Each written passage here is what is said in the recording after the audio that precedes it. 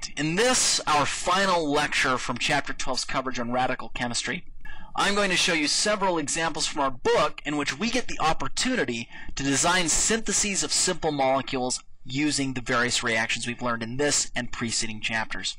Here's the lecture problem. I want you to design multi-step syntheses to convert the given starting materials into the products indicated.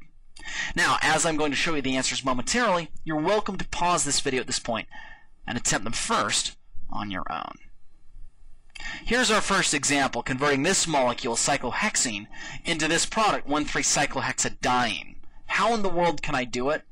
Well, as I've taught you in the past, we organic chemists traditionally start at the product and work backwards one step at a time using reactions that we know until we arrive back at the starting material that we're trying to get to.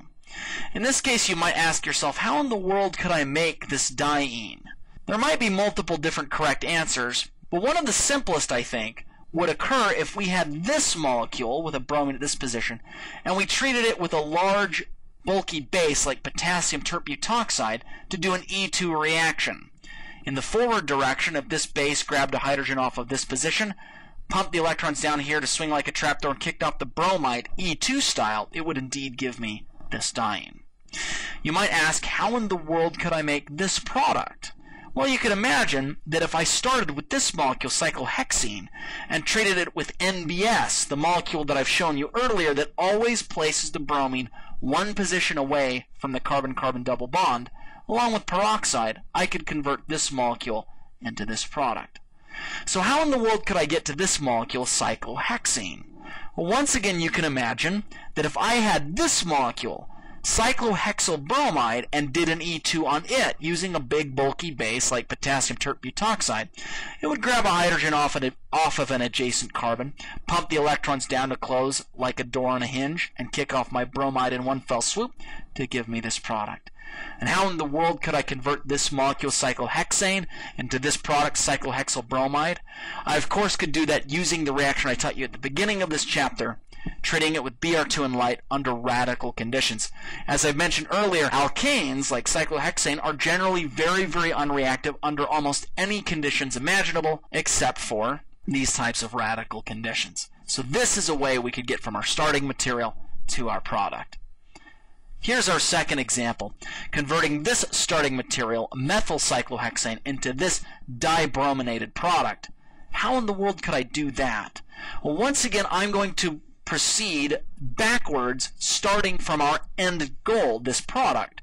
That is, through retrosynthetic analysis.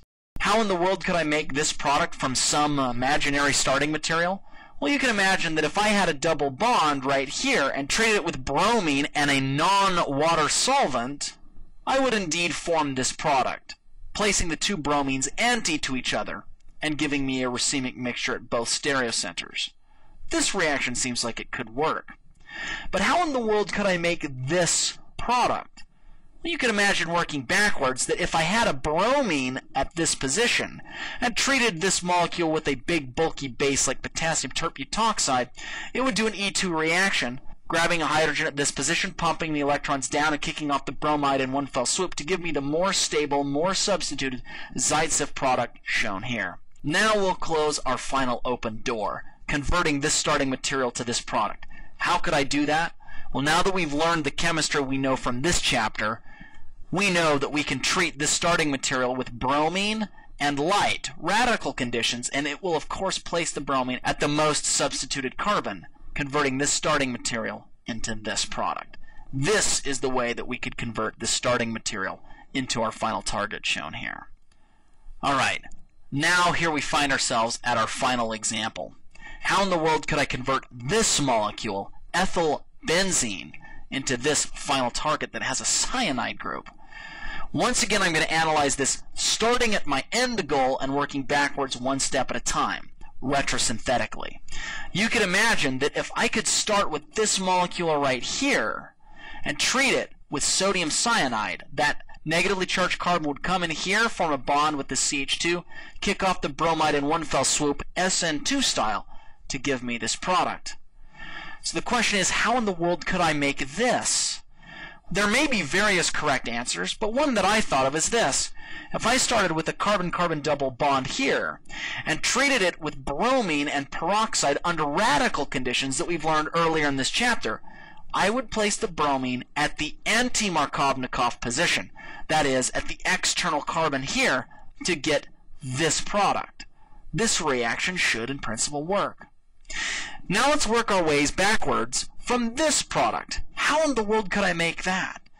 Well, I might imagine that if I started with this starting material where I've got a bromine at the internal carbon and treated it with a bulky E2 base, potassium tertbutoxide, this base would grab a hydrogen off of this carbon, pump the electrons down, kick off the bromide in one fell swoop to form this carbon-carbon double bond, E2 style.